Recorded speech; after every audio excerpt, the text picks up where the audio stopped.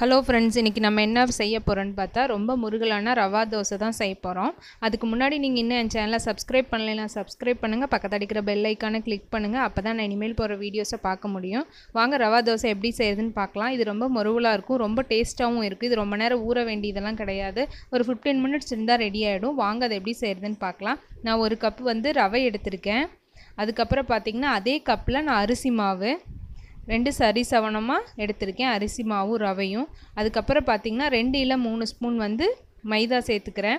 ரொம்பவும் நம்ம மைதா ஆட் பண்ணக்கூடாது. மைதா ஆட் பண்ணால் கொஞ்சம் அந்த மொறுமொறுப்பு தன்மை கம்மியாயிடும். உங்களுக்கு வேணும்னா சப்போஸ் மைதா வேண்டாட்டி நீங்கள் கோதுமை மாவு கூட சேர்த்துக்கலாம். அது கூட ஒரு ரெண்டு இல்லை மூணு ஸ்பூன் தயிர் தேவையான அளவு உப்பு போட்டு நான் மிக்ஸ் பண்ணிகிட்ருக்கேன் நல்லா மிக்ஸ் பண்ணி விடுங்க. நல்லா கலரட்டும். இது கொஞ்சம் தண்ணி பதமாக தான் இருக்கணும். நான் ஒரு கப் தண்ணி ஊற்றி கட்டி இல்லாமல் நம்ம ஃபஸ்ட்டு அதை கரைச்சிக்கலாம். நல்லா கொஞ்சம் கம்மியாக தண்ணி ஊற்றி ஃபஸ்ட்டு கரைச்சிக்குங்க. நல்லா எதுவும் எல்லாம் மிக்ஸ் ஆகிற அளவுக்கு கட்டி இல்லாமல் ரவையை நல்லா நம்ம கையில் மிக்ஸ் பண்ணி விட்டுக்கலாம். இப்போ ஓரளவுக்கு நம்ம இது இல்லாமல் இது பண்ணியாச்சு. இப்போ பார்த்திங்கன்னா தேவையான அளவு நம்ம தண்ணி சேர்த்துக்கலாம். இதுக்கு முன்னாடி வந்து நான் வந்து ஒரு ஸ்பூன் ஒன்று இல்லை ஒன்றரை ஸ்பூன் வந்து நான் குருமிளகு ஆட் பண்ணுறேன் ஒரு ஒன்றரை ஸ்பூன் சீரகம்.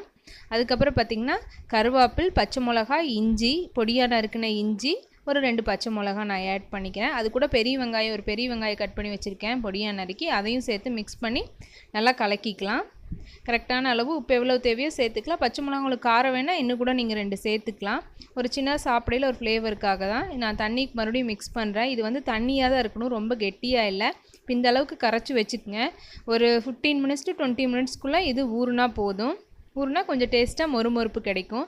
ஊற வச்சுக்கலாம். மறுபடியும் தண்ணி தேவைன்னா கொஞ்சம் ஊறின வர ட்ரை ஆனால் தண்ணி வேணால் நம்ம சேர்த்துக்கலாம். கொஞ்சம் இது நல்லாவே தண்ணியாகவே இருக்கணும். நான் இப்போ ஒரு தோசைக்கல் வச்சுருக்கேன்.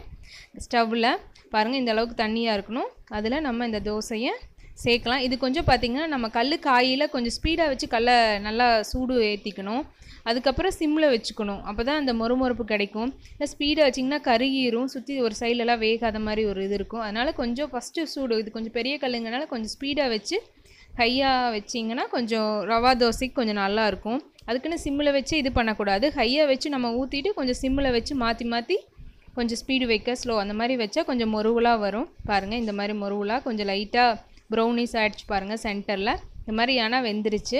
பாருங்கள் ரவா எப்படி வருதுன்னு. ரொம்ப டேஸ்ட்டாகவும் இருக்கும் ரொம்ப ஈஸி ரொம்ப நேரம்லாம் நம்ம ஊற வச்சுட்டு புளிக்க வச்சுட்டெல்லாம் இருக்கிறதுல நம்ம தயிர் கொஞ்சம் ஊற்றுறதுனால அந்த டேஸ்ட்டாக இருக்கும். ரெடி ஆயிடுச்சு ஃப்ரெண்ட்ஸ் ட்ரை பண்ணி பாருங்கள் தேங்க்யூ